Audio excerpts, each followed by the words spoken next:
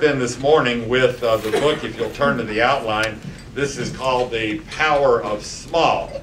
The Power of Small was written by Linda Kaplan Thaler and Robin Koval. This is their second book that we've done here at the First Friday Book Synopsis. The first one was called The Power of Nice. These are very successful advertising executives in New York City. They have more than 200 employees and it is one of the fastest growing and most successful women-owned businesses in the United States. Uh, don't faint here, they are also very, very creative people. Uh, I'd like to read you a quick quote uh, from the book that summarizes why they talk about the power of small.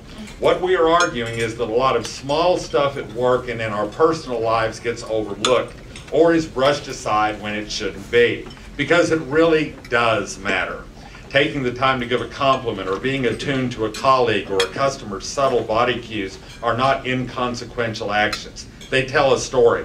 They are the details that make or break a relationship or crack the case. It is our small behaviors that so often define us and create an imprint of who we are.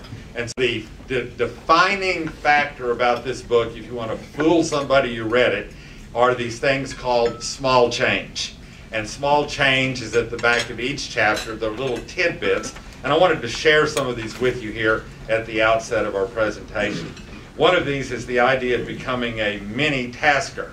And they ask the question, do you find that things on your to-do list seem to never get crossed off? They just carry from day to day for weeks at a time. And what they say, instead of making a list of big, difficult to achieve goals at the beginning of a week, create an action list and re-envision those goals into many tasks you can actually accomplish on a day-to-day basis. Create a series of smaller steps. Call the broker, check. Write a listing for the house, check. Hire a repair person to fix the broken window, check. Instead of panicking over the big things and you never get them done, break them down into smaller tasks and check them off. Is to put yourself on instant replay, and they suggest to watch yourself uh, videotape yourself. Watch yourself in a meeting or a presentation. Turn off the sound and see exactly what you look like. It says, are you constantly looking down at your notes when someone else is speaking? If so, you may as well hold up a sign that says, bored, waiting my turn. Uh, very interesting. You'll never know if you weren't taped. And by the way, you all might deny the behaviors, but the camera doesn't lie. I'm sorry, you know,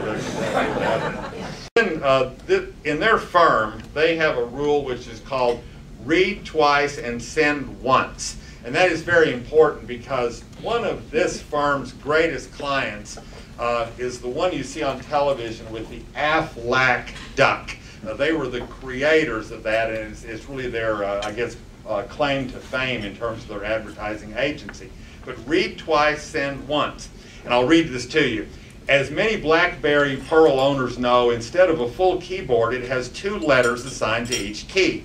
The software uses a program called SmartType to figure out which letter you want. For example, the I and U are on the same key. Well, a year ago, I wrote a long email to our AFLAC clients summarizing some of the many commercials we had produced using the AFLAC duck D-U-C-K. Unfortunately, my BlackBerry had something a little naughtier in mind. If I hadn't taken the few extra minutes to proofread my message, we would have sent an X-rated email to one of our most important clients. So you, you always read twice and, uh, and send once. Uh, take baby steps. The idea that you, if you don't get that, you'll get it short. Uh, the Power of Small is a fascinating book. It's full of stories. Whoever wins this, you'll have a great time reading these things. And uh, remember to uh, think small and not big. I hope you enjoyed that synopsis of the Power.